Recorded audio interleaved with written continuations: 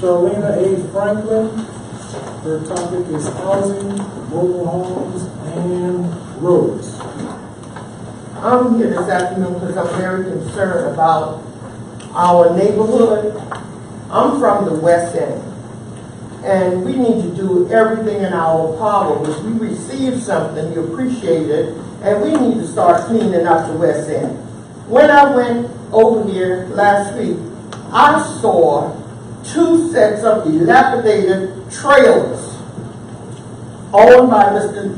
Um, Mr. Singleton. It's awful. If you are going to acquire such buildings, make sure you ask if it's legal. Because I've had, I have four lots. And we were told that we cannot put trailers on those lots. We have to put modular on the lots. Those trailers that is on the corner of Merriman Road and Emmanuel and G Avenue, we Alex Alford Drive, the corner of Alex Drive, and Wynyard, it's awful. If it's, if, if it is accepted by the committee, then it should be given a time limit to renovate it to the epitome, having everything in it and present it to the West End. Right now, it's an eyesore.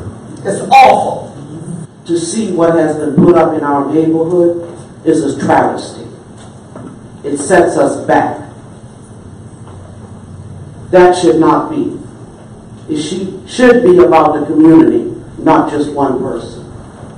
We would like to know how that he, Mr. Singleton, was allowed to even move those dilapidated, raggy buildings into the north end the West End. It shouldn't be. What gives him and who gives him the right to do that? I heard what was said, and I agree with the appearance of what you see. Because sometimes what you see is not reality, what is. I'm a contractor. Those models that you see are built better than 90% of the houses over there. Your students, your students went, went to school in the model. All over the state, that's where I got them from. Those that were built before 2005, you can't stop them from coming in. If I, when, when, when I get through with them, regardless what happens, come to look at them. See, at one time, the black man looked like that.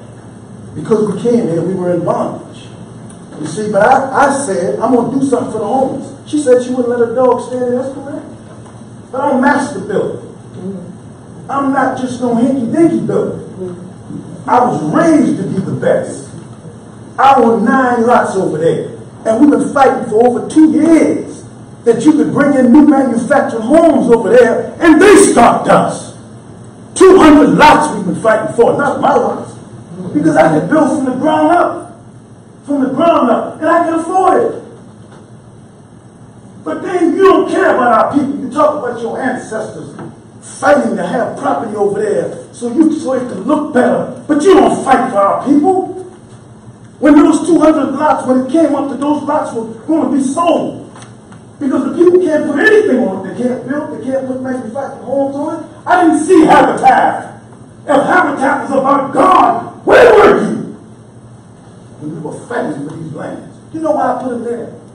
I'm going to tell you why I put it there. Yes, I'm a builder. But Genesis 15, 13 says this.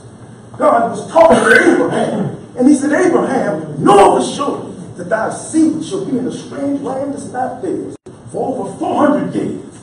And God said, after that time I will come and bring them out with great substance. There have not been a people nowhere in history that's been in bondage in a strange land but me. And to prove that for us, in Deuteronomy 18, 18, it says this. God was talking to Moses. And he said, Moses, one will come like you in the last day. And he will speak that which I speak to him. He will come from among his brethren. Why did God say like Moses? Because Moses came from a people that was in bondage. Those people that you heard tonight is in bondage. They don't care that I'm doing something for the homeless. They don't care that I'm a master builder. They don't care what how it's going to look. Uh-huh. Yes, I'm a master builder. And when I get through with it, you will see. They care nothing about their people. They're more about materialistic things. The law allows me to bring that in. I've been begging for you all to let us bring in new manufactured homes. But you don't want that. You want that, what's there. You fought for those margins. When you leave here tonight, I want you to remember one thing in closing. You all fought for those to be on those corners. Because your law says that's the only thing that can be brought. Thank you. Thank you, Brother Pruitt. Um, if I may, can, um, Mr. Smith, would you get with Ms. Franklin, uh, Ms. Graham, Ms. Keith, and Ms. Mutry, and Brother Willie Lee? Let's see if we can all, along with myself, let's get together so we can go ahead and give the answers that the, uh, the people are seeking.